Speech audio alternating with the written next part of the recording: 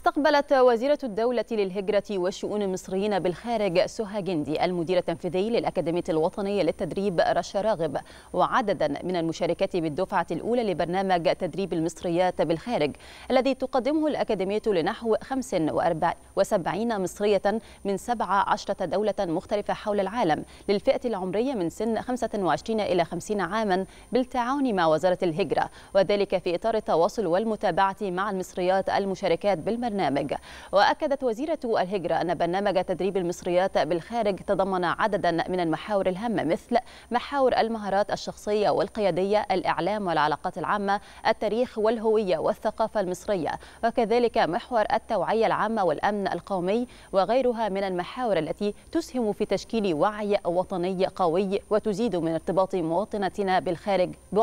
بوطنهن